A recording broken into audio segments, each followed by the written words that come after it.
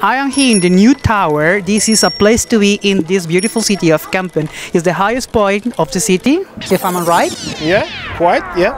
or is the Bovenkerk even higher? No, the, the place where we can stand is even high. Um, and the tower over there is just same level. Okay.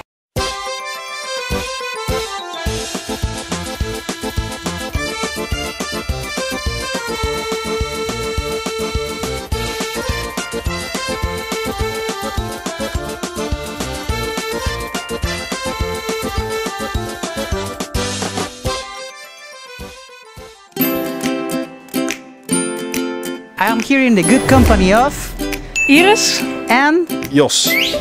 And uh, why is this tower so important for the city of Kampen? Who wants to say something? It shows the, the mighty state of Kampen around 1500. Yeah, the mighty state of Kampen. Because Kampen in 1500 was really big, way bigger than, for example, Amsterdam. Amsterdam, Yeah, and um, they uh, started building this tower to show how important they still were, but the financial debts kept going and kept coming. Um, but with this tower, they tried to show the rest of the Netherlands how important they were. Tell me, what is why is a cow hanging over there? Well, uh, when they were building the tower, uh, um, the, the money was gone, they had no money to build it, and the grass was growing on the tower, and they didn't like it, the, the people in Kampen. So they uh, had a lot of city farmers, and they said, You have a cow, come bring that cow, because cows love grass. We're gonna lift that cow up But in place that they put um, uh, a tower uh, around the belly, they put it around the neck. And they don't like that. Because when he went upstairs, he was dead. But smart. Smart. So you don't need to go actually to Italy to see a vended tower because the Tower of Kampen, the new tower, is actually also vended. It was built on wooden, uh, on wood and uh, cow skin. Yeah. So after a few years, it got rotten, and then it bent over a little bit. But now it's all safe. No worries. You can go upstairs. It's completely safe. Yeah. That's very good that you said so because actually I'm terrified for heights. So I did this tower before in a couple of months and I must tell you I was really really scared. I even have the feeling that I was like moving. Yeah. But if you say it unsafe, I trust you. Yeah. Just give me a hand. Yes. And we'll go upstairs together. Okay, good, good, good. so we are going to do this. I'm going to do this just for you guys. I hope you enjoyed it. I'm going to be shit scared, so please don't laugh too much.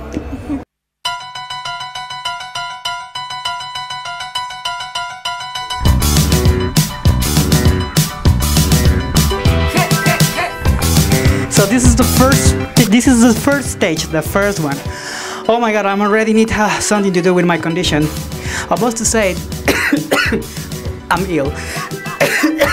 so the fact that I'm even trying is already a challenge for me. Okay. Doors are closed, but Yeah. Oh wow. we're in the middle of an escape room right here. Okay. I never. An escape room in this tower. Yes.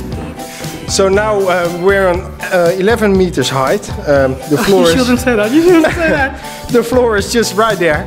Um, and we're in escape room Kampen right now because we made an escape room in this tower um, where people can relive the, the past. They get uh, locked up inside of this little hallway and have to get their way out on top to the or to the roof. And then they open the last uh, door and give the view back to uh, the people in Kampen. Oh my god. That's the Okay. story. Very, very nice place to be. Uh, I know this is stupid, but I already feel the building moving. It's not. It's not moving, I know, but it's, it's in my head, so let's go over there. Okay, let's go. This is the engine of the clock, the clockwork. Yeah, indeed. This is going to make noise now, noise? No, it's not. No, no, it's quite um, it's quite quiet. It's built in 1880, so it's quite old. Um, but uh, they made a the atom clock. Yes. Um, so that makes uh, that um, the time is always right because this one, it's not always right. Sometimes it's 10 minutes past, 10 minutes before. So Well, still working. yeah, it is still working. It's not accurate, but it's still working. Yeah, indeed. So let's go over.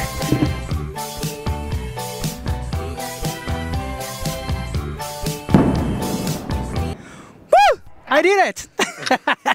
it was, I must admit, the first time was more uh, a terrifying experience. Now I feel a little bit my blood pressure in my ears because I'm still scared. But um, yeah, that was cool.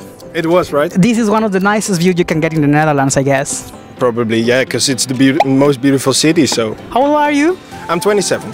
And for how long have you been uh, volunteering here? Uh, f- one, the 1st of April 2014, so. Oh, so it's quite a while. Yeah. And what is nice to, to, to, to work here in the tower?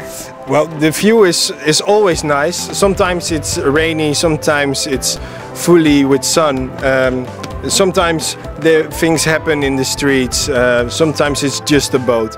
It, every day is different on the tower. Can you tell me a very nice experience of some visitor or someone working here? No, it's not one thing in particular, but um, everyone who comes at the tower, and some people lived here in the past, they all have their own stories. Uh, someone, his dad got locked up in the tower. Oh my god, are we talking about ghosts? No, no, no. It's, it was in the World War when there was a razzia in the streets. Um, they, they put his, his dad in, in the tower. and Oh my God, lit it up, oh. So they couldn't find him and he survived. So. Oh, oh, okay. yeah. Well, thank you very much for the tour. Thank you very much for the company. Thank you very much for the confidence. and here you have the beautiful view of the tower from Kampen.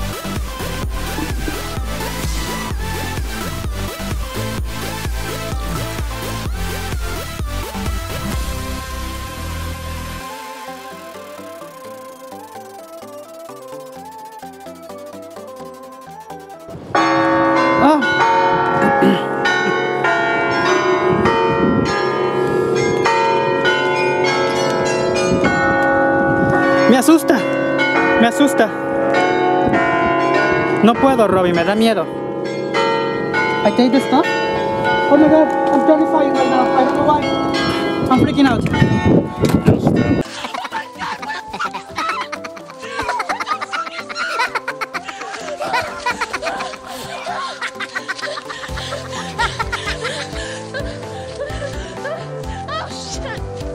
I'm still very scared and with this horrible strong wind in front of me, but I don't want to leave the top of this tower without interviewing one of the most interesting characters in Kampen. Oh my god, I'm so scared. So, Count of Kampen, tell me, how does it feel to be hanging there every fucking year? Uh, uh. Are you having a good time?